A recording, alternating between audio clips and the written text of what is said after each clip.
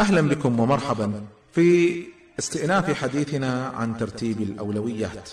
نحن تحدثنا عن أشياء كثيرة جدا وفي الجانب العملي تكلمنا عن أدوار مختلفة دور إيماني دور فكري دور مالي دور علاقات إلى آخره صحي جسدي.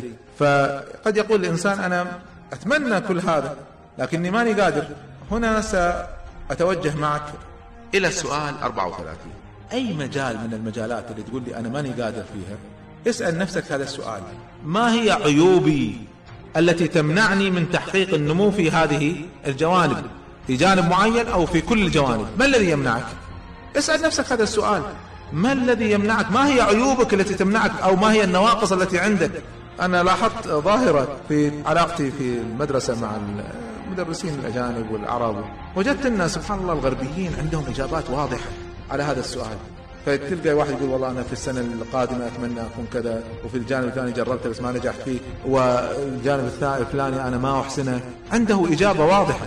بينما بعض مدرسينا لما تسأله أو ما عندي عيوب. يعني كيف ما عندك عيوب؟ إذا الإنسان ما عنده عيوب إذا الإنسان كامل. فبالتأكيد عندنا عيوب. ما هي هذه العيوب؟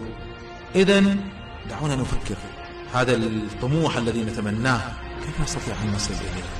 كيف نستطيع أن نصل إليه؟ تذكروا قاعدة شرعية أصيلة إن الله لا يغير ما بقوم حتى يغيروا ما بأنفسهم. اذا نحن نستطيع أن نصنع الفرص لأنفسنا نحن نشكل التغيير المطلوب منا. ما ننتظر التغيير يحدث لنا؟ هذا نادر.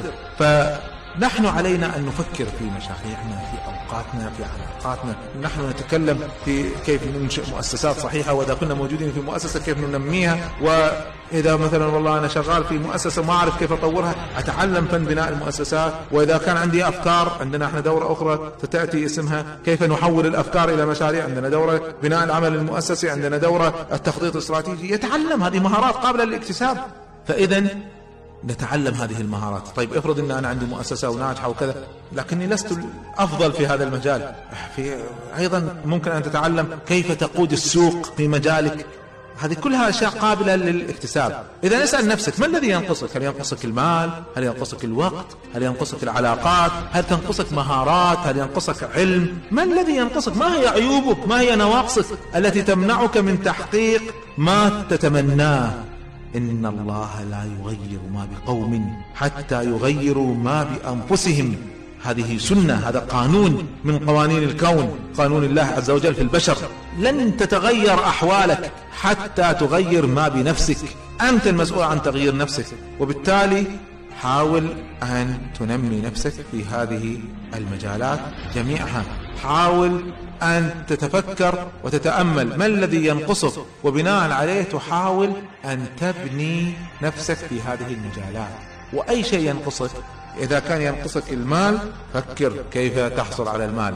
أذكر مرة شاهدت مقابلة في التلفزيون الأمريكي مع واحد كان من أصول زنجية وكان من أسرة فقيرة جدا من أفقر أماكن أمريكا. وبعد فترة صار مليونير. فصوروا معه مقابلة فسألوه كيف صرت مليونيرا قال أنا عملت شيئين. أي واحد يعملهم سيكون مليونير.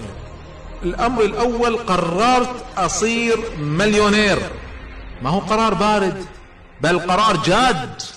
قررت بجد أصير مليونير. لا لازم أصير مليونير. سهلة واحد. ممكن يصير جلسة خلوة في النفس يقرر أن يصل إلى شيء معين.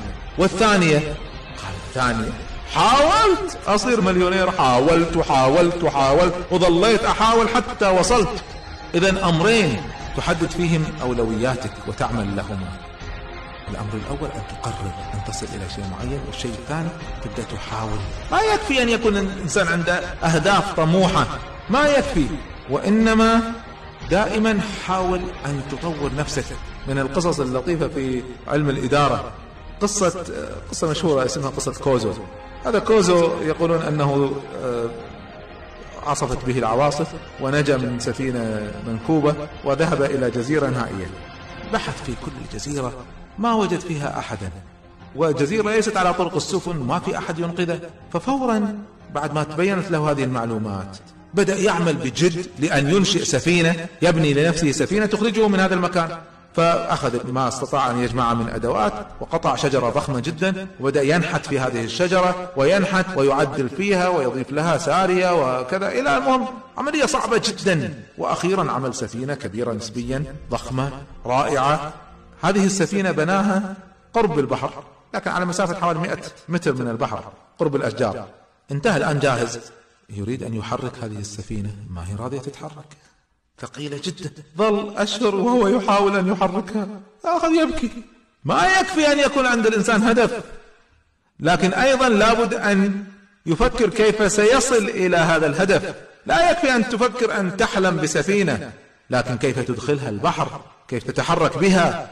فكما أن الهدف مهم أيضا أدوات الوصول إلى هذا الهدف مهم. فإذا كان هناك عيوب معينة تمنعك من تحقيق ما تريد فكر في هذه العيوب. طبعا أول العيوب أن لا يملك الإنسان الإيمان بالله عز وجل والتوكل عليه. ومن هذه العيوب الرئيسية أن لا يكون عند الإنسان أهداف واضحة وطموحات واضحة. ومن العيوب أن لا يكون عنده الإرادة الجادة. هذه الأساسات. ثم ستأتيك مجموعة عيوب أخرى. قد تكون العيوب عدم وجود المال أو عدم وجود الوقت أو عدم وجود العلاقات. فكر أليست هذه هي العيوب الرئيسية لأي هدف؟ وقد تكون عندك عيوب أخرى ظروف خاصة اكتب أو قد تكون عندك نقص في قدرات معينة. تقول والله أنا لو تعلمت الأشياء هذه سأتقن هذا العمل أستطيع أن أحقق هذا. فإذا أرجو أن الإنسان يفكر يفكر تفكير عميق جدا في هذا الأمر ويحاول أن يشكل نفسه يفهم ما هي العيوب ويفكر كيف سيتغلب على هذه العيوب. إذا السؤال رقم 34 ما هي العيوب التي تمنعك من تحقيق أهدافك؟ تحقيق النمو في جوانب الحياة المختلفة وكيف تتغلب عليها؟ وأجيبوا معه كذلك على السؤال 35 كيف أعالج هذه العيوب وأتجاوزها؟ أرجو أن تأخذوا بعض الوقت للإجابة على السؤالين 34 و 35 أوقفوا الشريط من فضلكم. وعودوا لي بعد الانتهاء.